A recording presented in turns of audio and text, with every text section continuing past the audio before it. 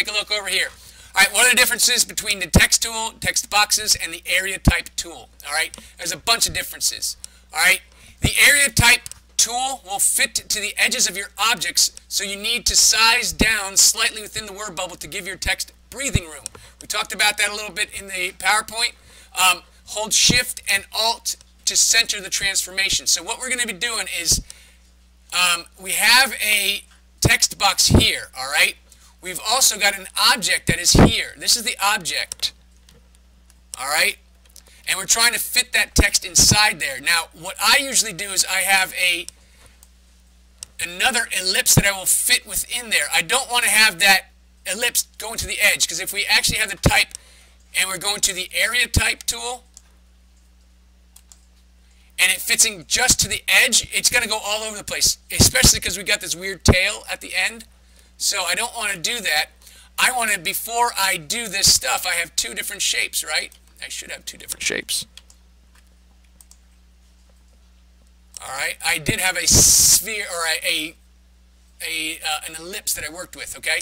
Um, I can't believe Mr. Feeney is making us do this warm-up. All right, so if we're going to be playing with this, the area type is now, I'm going to, that eye is kind of hanging out up the side there. I made an ellipse that I fit inside that bubble. I clicked in the middle. Hold on a second. I'll move this to the side.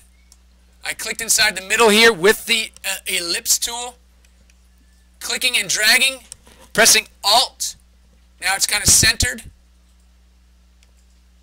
All right. And giving myself a little breathing room around here. Maybe holding Alt again as I'm clicking it down.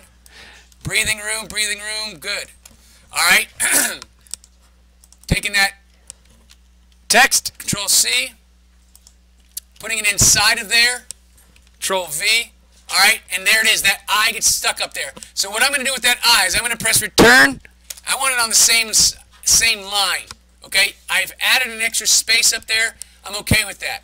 Now, I've also, I'm going to take that text, I'm going to center it, all right? Pressing the character align center. You got these options up here. We're aligning the text to the center, okay? And I think that's it. Again, making a new ellipse, taking the text, fitting it to the inside of that ellipse. Ellipse is going to be a little bit smaller. Putting the I on a different line. Okay? Using the paragraph options to change align to center. And that should make your text look pretty good. So you have to think about these different moves that you have to do to make your text um, a little bit more readable and look designed well.